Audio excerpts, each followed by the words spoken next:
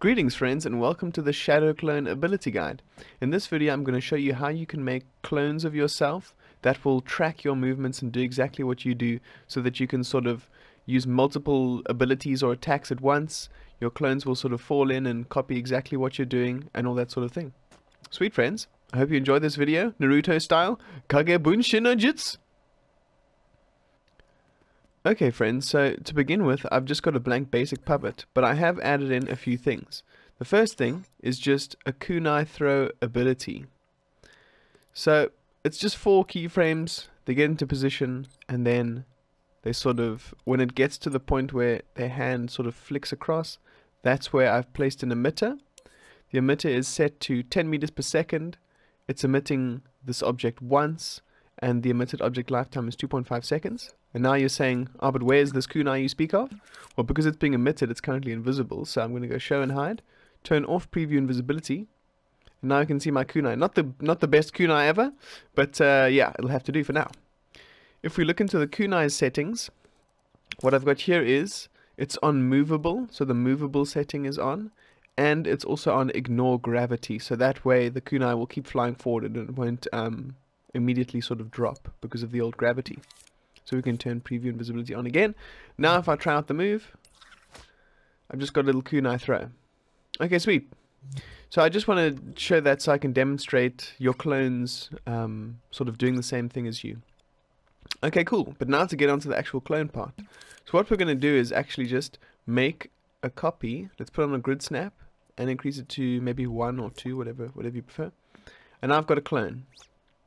Now, this clone is going to have the exact same stuff, so they've got the, the kunai throw ability and all that sort of thing, bound to R1.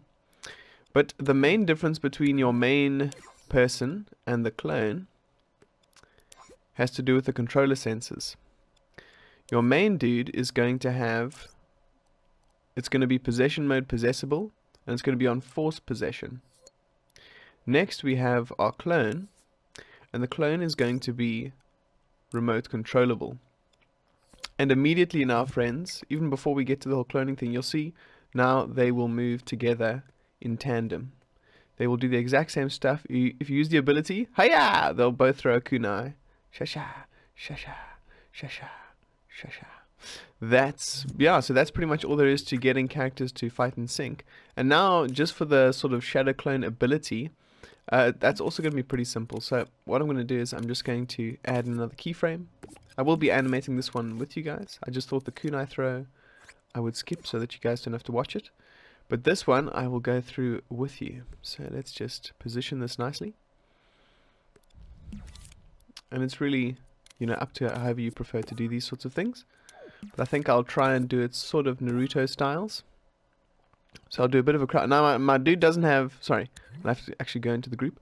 Now my dude doesn't actually have fingers, so it'll be hard to show you know, the sort of specific fingery bits that they often are when it comes to Naruto stuff. Because you know how his, his sort of fingers are cross over each other.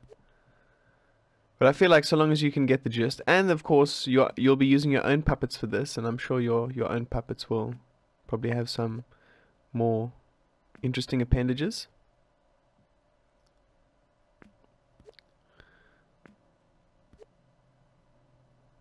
So yeah, this looks a this, it's a little bit simple.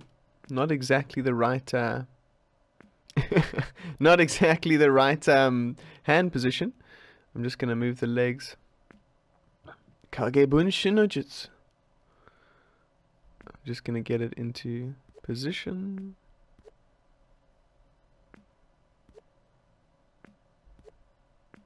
Okay, cool. So our little ninja is here now. Wow. He gets into the position.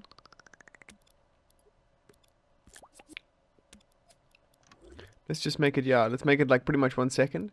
So it's... Okay, cool. And then once we get into that position, you can actually make it last a little bit longer. Cha-cha-chang. Cha-cha-chang. Okay, cool.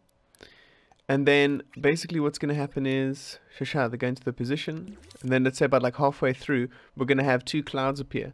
Now for the clouds, which is where the clones are going to appear, you can um, you can use a, a variety of things. For example, you could use fog. Um, but so we'll go into our fog. We'll make it white. We'll make the glow like pretty pretty high. Sorry, that was a little bit too high.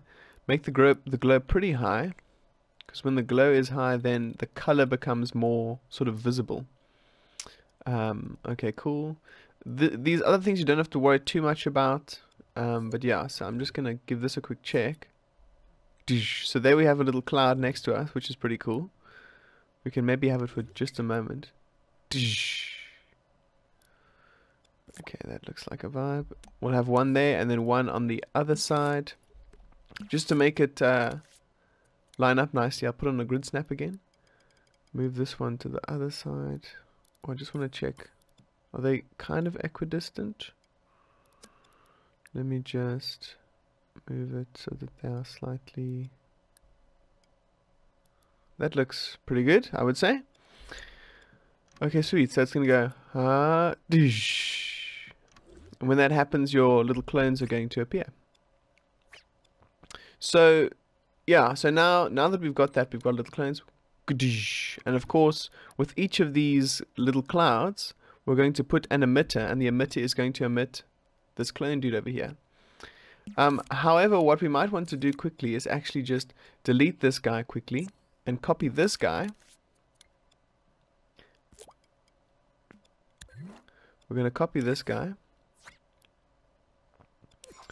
And we'll delete all of these things, but we'll keep this keyframe so that when they sort of spawn, they're going to actually be in this position. Like it, like it is Naruto, you know what I mean? So it's not like he's going to be in the sort of the jutsu sort of stance, and then the other guys are going to be kind of standing up normally. They'll also be in that stance because, of course, the movement is sort of mimicked. And yeah, so that's what's going to happen. As soon as they spawn, they'll be in that position and sort of then return to the normal position, if that makes sense. So now that guy's looking cool. We're going to go into our moves and output, get ourselves a, oh, that's a force applier, sorry. We're going to want an emitter. The emitter is going to emit this guy. Oh, and sorry friends, remember, the key point with the clone is that you make them not force possession, but remote controllable. That's the one. So we're going to emit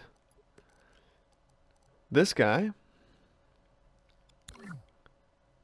This guy over here emit speed will be zero. You're also going to make emit mode once. And then I think we'll make the um, the like emitted object lifetime. That's up to you. Like you can make it 10 seconds, you can make it 5 seconds or whatever. Or you can leave it as kind of like infinite and instead build in like a, a disappearance animation to your character. So you could make it that like, okay, cool, after five seconds, so let's go to our logic and processing. We'll go like, okay, cool, after five seconds, he's going to disappear. And what happens when he disappears? Well, there's going to be a nice little cloud. So we can actually just copy this fog over here. We'll line this fog up with where our clone's position is, their sort of midpoint around their pelvis sort of region. And so it'll power that and it will power a destroyer. Sweet. So let's just give a quick check. I'll just bind this to a key quickly. Let's make a triangle. I'm not too sure. Can be anything. So let's cha cha dish. Okay, let's see if he then he disappears just like that. Okay, sweet friends.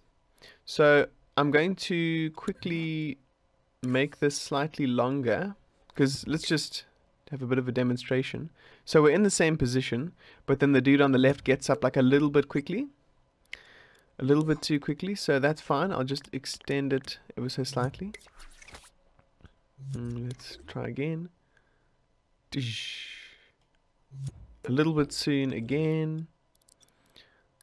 This is pretty much just nailing out all the little kinks. That's pretty good, I would say. Cha-cha-ching. Good stuff. another thing I'm going to change quickly is not on our clone, but on our original dude.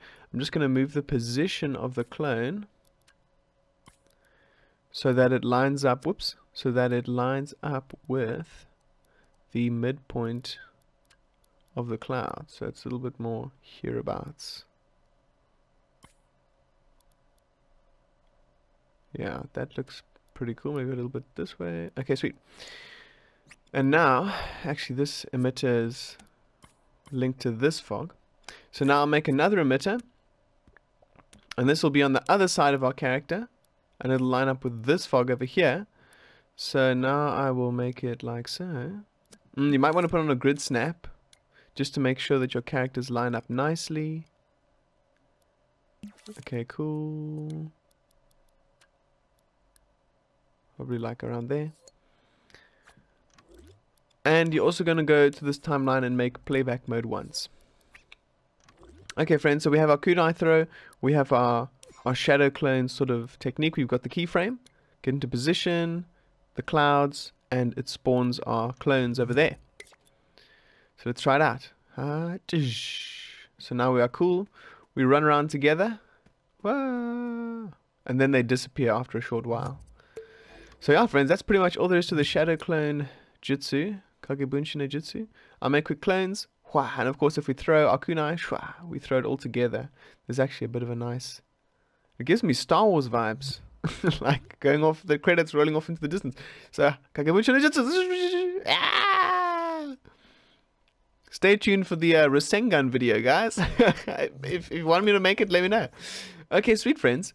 So thank you for sticking around for this one. Uh, it's actually a nice and simple one. You can of course make your clones last as long as you like.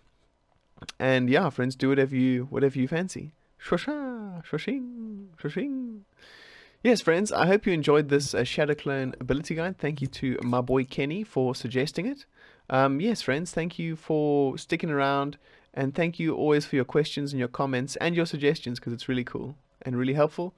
And it helps me to keep making new things every week. Whoop, whoop, whoop. Thank you so much, friends.